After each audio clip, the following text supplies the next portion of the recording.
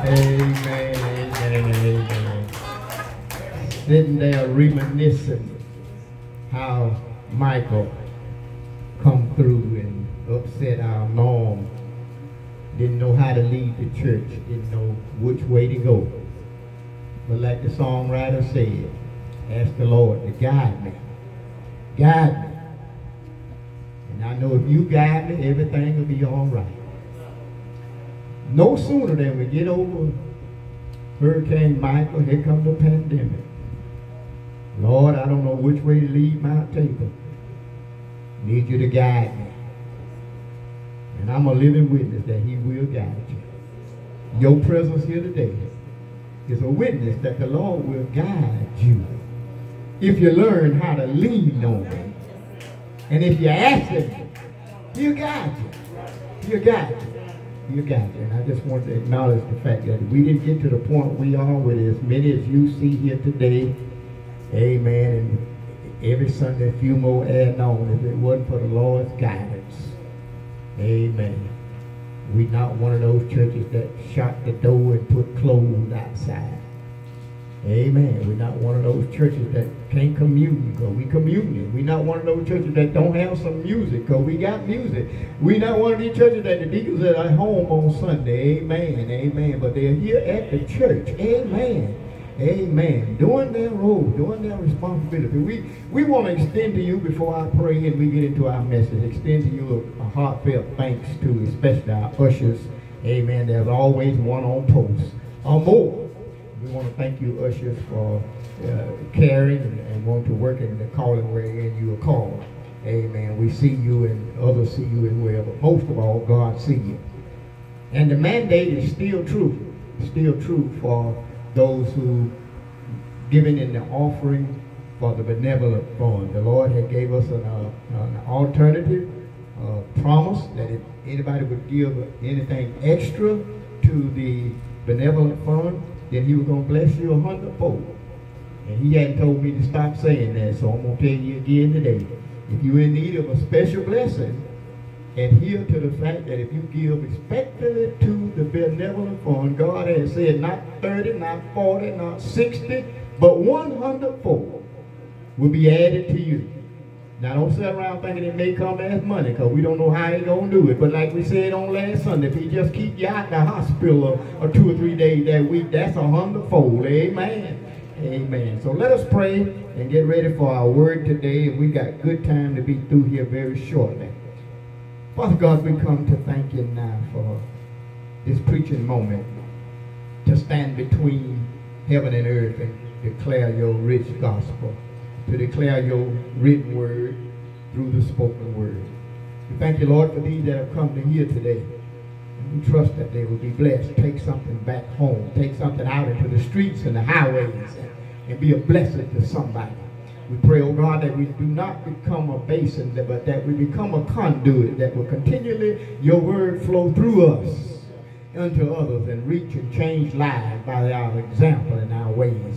We thank you again and we pray, God, that we would receive what you have in store for us, and that your word would not return, even as you declare, unto you void.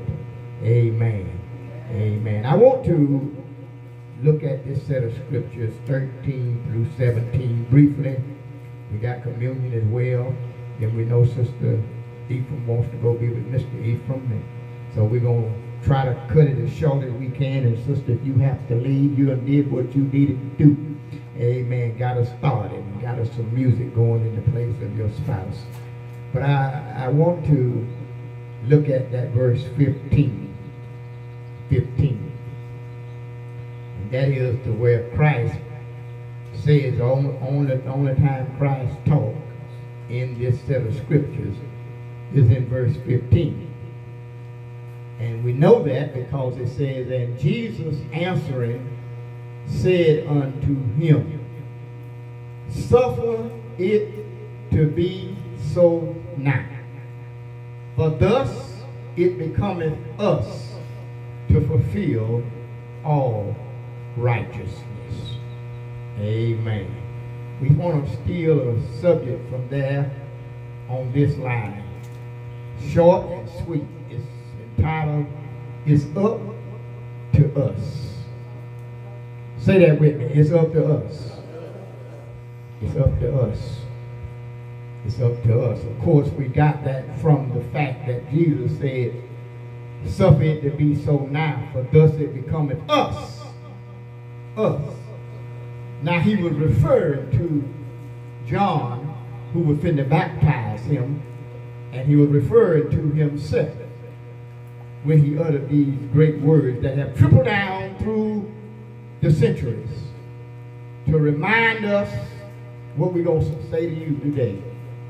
And that is that God has left some things in our hands. God has left some things up to us. Amen. Our Sunday school lesson this past Wednesday is what focused me to piggyback on this subject and this train of thought. It said the subject of the first lesson for October was only you. Only you. And the reference was to from Psalm 100 where it says, make a joyful noise unto the Lord come before his presence with singing and all that, etc., etc. And the writers of Boyd said it on this wise and never put in the lesson it was up to us. But he said only you. In other words, they were saying that only you can praise God. Only you can honor God.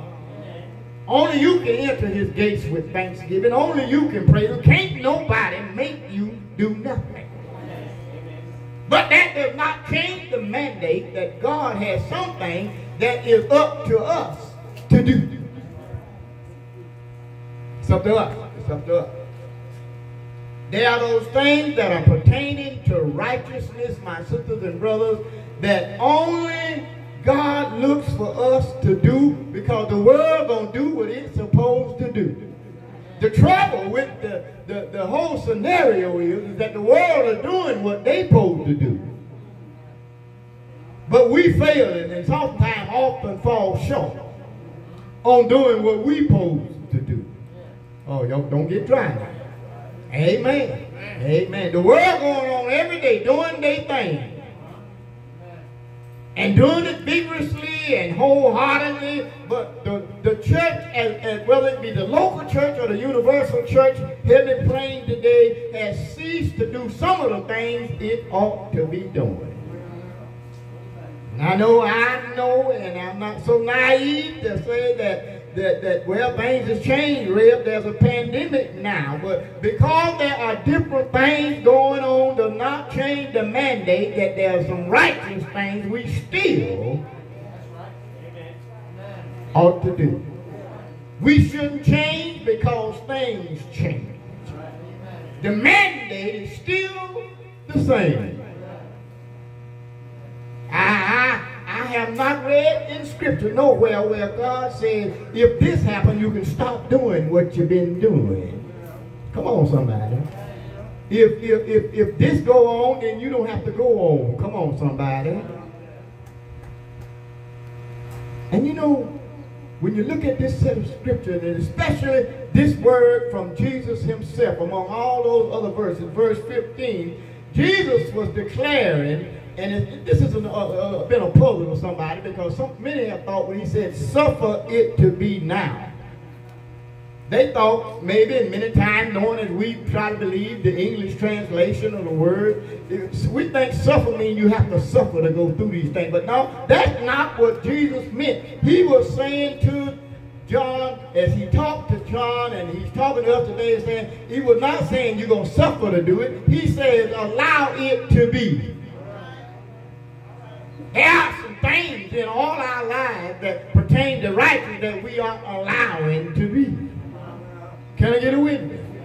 And so what Jesus was saying to John was, allow it to be. Have, make it happen now. Do it now. Presently. Then he tells John and, and, and, and warning us today, it's becoming he said, he says in that verse 13, he says, 15, he says, it's becoming us. You know, there's nothing more beautiful than to see a child of God doing what God has said do. It's nothing more lovely than to see somebody working in the capacity that God has called them, ministering in the ministry where God has called them. It's nothing more attractive, nothing more beautiful than to see that person doing what they're supposed to do. Because you know why? Can't nobody do what you've been called to do like you.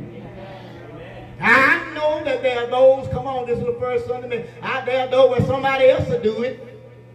Yeah, they will, but they can't do it like you.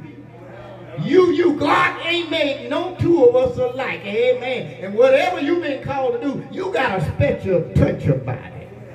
Come on, somebody. You got a special little class somebody. You got a special way of doing it. And, and, and no matter how hard somebody else try to do like you, they can't do like you. That's why it behooves us not to try to copy nobody. Can I get a witness? Just be yourself. Because God has called you in the capacity that he has called you. Because he knows you got that certain little twist. You got that certain little air. You got that certain little way about doing it that, that, that, that he's gifted and talented you with that nobody else can do. And when you find somebody in their capacity, working in themselves that God has called them, there's nothing more becoming. Then I looked over in the New English Version. And I wanted to know how did they interpret that 15th verse. And, and instead of saying it's becoming, they say it is proper. Look in your NIV sometime at uh, Matthew 3 and 15, and it'll say it's the proper thing to do. You know what Jesus was saying? He was saying it's just the proper thing to do. It's the right thing to do. It's up to you to do what you know is right because it's just the right thing to do. In short, no matter how you look at this text and this scripture, it falls on us to fulfill what's right. Can't dwell on that enough this morning. It, it, it, don't fall on the world. It don't fall on the sinner man. Amen. It don't fall on mama and daddy. It falls on us, each one of us individually, doing what God has called us to do. Amen. Amen. You see, it's just up to us uh, to do what Spike Lee said, to do the right thing. You remember that movie, Do the Right Thing? Amen. God, God has called us, and it's up to us to do the right thing, no matter what somebody else doing. I'm going to do, that's to be our determination, I'm going to do the right thing because it's becoming and it's proper. And, and God has told me and told John, in, in, in John, it, it, it, it's the proper thing to do. You know, my sisters and brothers, I speedily moved, it was John's idea for Jesus not to do what he knew he needed to do. Now I want you to read this whole text, the third chapter of Matthew sometime. But if you read it, John, John didn't want to baptize Jesus. He said, no, no, no, I'm not worthy. I'm not worthy even untie you, to latch it on your shoes. Uh, in other words, uh, matter of fact, Jesus, can I put it plain? You ought to be baptized in me. But you know what, what Jesus told him? He told him our text. He said, uh, I know, I know that, John, I know that, but it's up to us. It's up to me and you to do the right thing. It's up to us, amen, to fulfill what's right. Because Jesus knew God's will. He didn't back off. He didn't find an excuse. He didn't say somebody else will do it. He didn't back away and say, well, I'll do it next week. No. What he did, the Bible declares right here before us that he went in the water. Amen. He didn't hesitate. He went right about it. You know, sometimes we're determined that I'm gonna, uh, it's up to me to do the right thing, and I'm going to do the right thing, but I'm going to start next week. I'm going to start next month. I'm going to start when I retire. Amen. Let me just mess up this message by telling you, I have talked to numerous people that, that when they come up to you, they be feeling guilty about not worshiping and all, and they be telling you stuff like this, Rev. Now, just as soon as I retire, I'm going to do much better. Some of y'all know what I'm talking about. I'm, I'm, I'm, I'm, gonna start doing better. I'm gonna get busy. And you know what? Like they know how they gonna be in a few years. Amen. I got one in mind now, and I dare not call it. But they, they, they told me that I'm going to be it. But I stopped by to remind you today that that individual didn't know that sickness was coming. Amen. How many know most of us wait until you retire? You spend more time at the retirement office, I mean, trying to get your little money straight. Come on. And you spend more time, come on somebody, amen, going back and forth to the doctor than you do anywhere else. Get it with And God wants us while we're young to serve him while we're still energetic. Amen. While we are young. Serve him while we're able. Don't wait till we get the way we have to drag. I feel a preacher here. Amen. We need to hear this today because too many want to put God down the road like they know what road they on and how long they going to be on the road. Amen. And the Bible says, today if you hear his voice, Harden not your heart.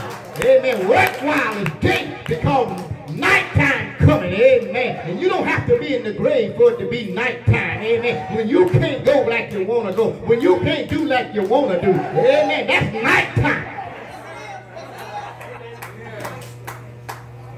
That's nighttime. Yeah stop to tell somebody. It's good to know, even if those hard times do fall upon you and you can't go like you used to go, you can look back over your life like, like Nehemiah, amen, and say, Lord, you know I've been doing all I could.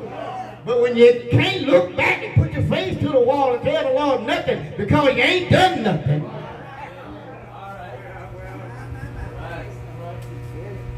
Yeah, he told me, I don't, I don't but Jesus said, hey, something it to be so now. He went in the water and was baptized by John. Let me just watch you. I want you to see something here. When he did, and when we do, when we realize it's up to us to do certain things, God will open up heaven to you. Where you find that at, River? That same text declares when Jesus went down in there and done what he was supposed to do, amen, and wouldn't let John talk him out. He went on down into the water. The Bible said it had no up. Somebody hadn't done closed up on you a little bit. Now I'm finna mess with you again. Maybe because you ain't doing what you're supposed to do. Amen. Your bills piling up. Amen. Your house payment behind and all these kind of things. If you find what you're supposed to do and be doing what you're supposed to do, God will open up the windows of heaven and he'll pull you out of blessing. If there anybody know the Lord will make you the head and not the tail if you do what you're supposed to do. I wonder if there anybody under the sound of my voice today know that the Lord will make a way out of no way if you're doing what you're supposed to do. How many know he'll open doors that nobody can't close? And if the door is closed and jammed shut, he'll open up a window. Ah, is there anybody? He done open up the window. Just pouring out blessings. I see the rain coming. Not only that, if you do what it's up to you to do. Ain't talking about Sally, Tom, Dick, and Harry. What you've been told to do. If you'll just do what you've been told to do. Not only will heaven open up, but the Holy Spirit will fill your life. You'll be on fire everywhere you go. You'll tell women and men that the wages of sin is death. And you won't mind telling them that the God that I serve, he's able to do. Can you a witness? Not only that, you'll get God's approval. Because the Bible says in this text, that God was so happy with Jesus doing what was up to him to do. that the God and the Son and the Word came together and a voice from heaven said, This is my beloved Son, in whom I am well pleased. well, preacher, just run down a short list because you said you were going to be quick. I can't cover it all because there's just too much to cover today. But let me just touch a few things that will help us to fulfill all righteousness. The Bible says have faith in God. Can I get a witness? I tell you in these times, We got to put our faith in God and God alone. Four times the Bible says we walk by faith and not by sight. It's up to us to fulfill the righteous call, to believe God anyhow. No matter how things look. Number two, is our responsibility to do the Matthew 28, uh, 19 and 20. uh, To go ye into all the world and make disciples, baptizing them in the name of the Father, the Son, and the Holy Ghost. And we have the witness. The Bible said, God said, Behold, I'll be with you always, even to the end of the world. Another thing that we need to get our head on straight and put it up in the front. and that is, know it's up to us not to lay up treasures on earth. Reaching and grabbing. Everything you get your hands on. And stacking it up.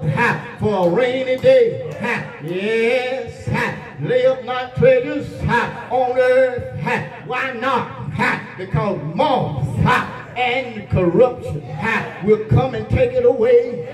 Can I get a witness? Ha, what else can I do? Ha, that means I'm on the righteous road. It's up to us to pray. Ha, come on, somebody. Ha, nobody else ha, can't pray for you. Ha, you have to pray ha, for yourself. Ha, steal away ha, and talk to the Lord. Ha, Tell him what you want. Ha. Tell him what you need. Ha. I heard him say, ha. you can ask, ha. and you will know ha. what you will get. Ha. You can seek, ha. and you'll find. Ha. You can knock. And the doors will be open. Somebody waiting on somebody else. To knock on the door for Jesus, for them. But you got to knock. For yourself. Can I get a witness? Mama done knock ha, till she done rolled her fingernails. And nothing has changed. You need to knock. For yourself.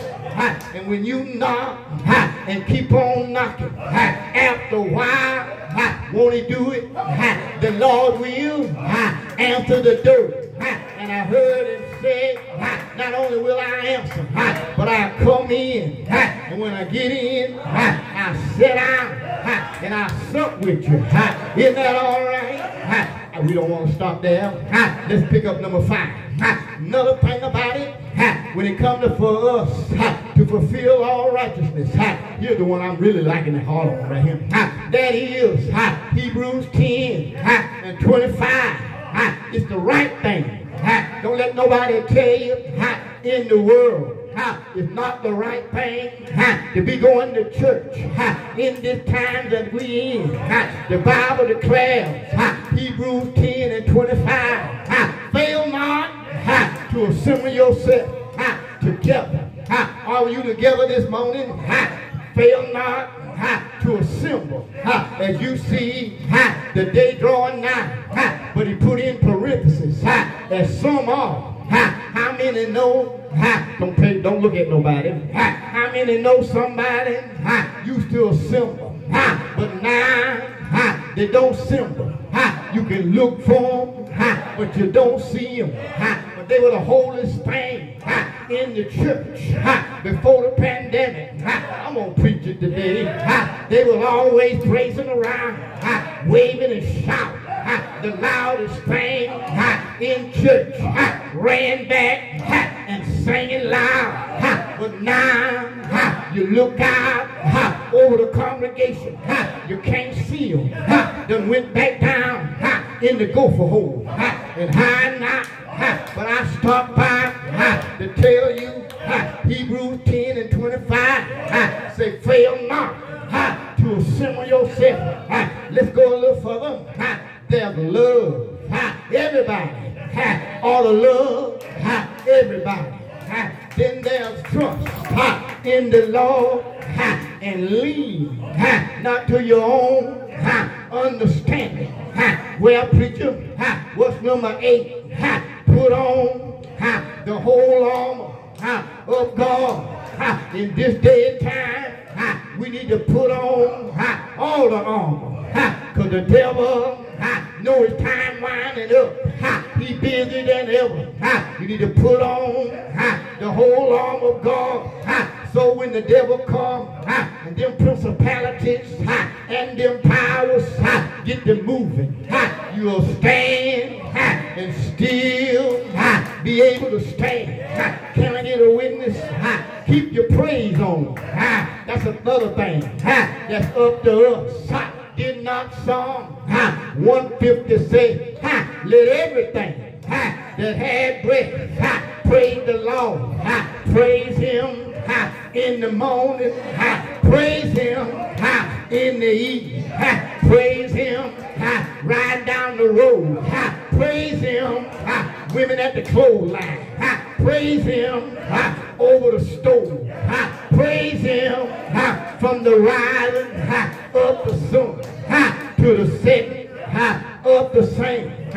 Number 10, ha, here's another one. Ha, run. Ha, in the race. Ha, don't drop out. Ha, the Lord ha, done brought you. Hmm, too far to turn around. Ha, run the race. Ha, with patience. Ha, for the race ha, is not given to the fast, ha, not to the strong, ha, but to he ha, that hold out ha, and endure. Ha, to the end. Ha, can I get a witness? Ha, and I like the last one. Ha, keep ha, looking up. Ha, that's what ha, all righteousness is about. Ha, David said, ha, I will look, I will look to the hill from whence come my help. Ha, but he must have thought about it. And he thought about how to heal. Ha, didn't have no hands. Ha, he thought about how to heal. Didn't have no feet. Ha, he thought about how the heels couldn't do nothing. And he reached back and said, my help, my help. All of my help come from the Lord. Isn't that all right? Well, we through here now, but I want to tell you this. Ha, it's up to us to be born again. Ha, isn't that right? Ha, it's up to us ha, to cry our Father. Ha, it's up to us ha, to have the Holy Ghost. Ha, and the Holy Ghost ha, have you. Ha, it's up to us ha, be on fire. Ha, it's in our hands. Ha, work while it's day. Ha, it's in our hand ha, to do the same works ha, that Jesus did. Ha, but I got a news flash. Ha, he said the same works ha, that I do. Ha, you can do the same. Ha, then he put a great big adjective in there. Ha, and said greater works. Ha, can you do? Ha, I wonder there anybody ha, who know you ought to be peculiar. Ha, that's the way God has ha, for us. Ha, we ought not to look ha, like the world. Ha, we ought not to walk ha, like the world. Ha, we ought not to talk ha, like the world. Ha, we cue you. Ha, you right, Grandma. Ha, you don't have to put the P on the front. Ha, we'll cue you people. Ha, we don't walk. Ha, we don't go places that other folk go. We don't do things ha, that other folk do. Cause we you. Ha, can I get a witness? Well, get through, Reverend. Your 12 o'clock done come. Let my clock for minute, ha, but I stopped by to tell you ha, that Jesus knew it was up to him to come down 40 generations. Ha, am I right about it? Ha, Jesus knew it was up to him. Ha, to heal the sick. Ha, and to raise the dead. Ha, Jesus knew it was up to him. Ha, to open the eyes. Ha, of the blind. Ha, Jesus knew. Ha, it was up to him. Ha, to go out on a hill. Ha, called Calvary. Ha, and there ha, he died. Ha, can I get a witness? Ha, is there anybody? Ha, will stand on your feet and be a witness? Ha, Jesus knew ha, it was on him ha, to die ha, from the sixth ha, to the ninth hour. Ha, but aren't you glad? Ha, somebody ought to say, I'm glad. Ha, I'm glad. Ha, it was up to him. Ha, early. Ha, Sunday morning ha, to get up ha, with all power ha, in his hand. Ha, and one more thing, ha, Jesus knows ha, it's up to him ha, to come back. Ha, and one of these days, ha, the Lord ha, the Father of our Savior, gonna look over at Jesus and say, child, my only begotten son, go back and get my people who will call by my name. Isn't he all right? I tried it. Have you tried it? It's up to me. It's up to you to be his eyes, to see his will. It's up to us to be his legs. It's up to us to be his mouth. It's up to us. It's up to us, I tell you to tell somebody the Lord is my life. To tell somebody the Lord is. Oh, the Lord is the strength of my life. Whom or what shall I fear? Amen. It's up to us to boldly go about our Father's business. Trusting Him. Leaning on him. With that note, it's also Romans the 10th chapter, which is the start of everything that's in your hand or been given in your hand. The Bible says you got to confess with your mouth. Believe in your heart. And you will be saved. He didn't say you might, probably, there might be one here today. It's up to you. You're at a critical point in life where you know you don't know Jesus. Go ahead, sister, and play. You know if you die today or tomorrow, you don't know really where you're going to spend eternity. It's up to you today to fulfill all righteousness.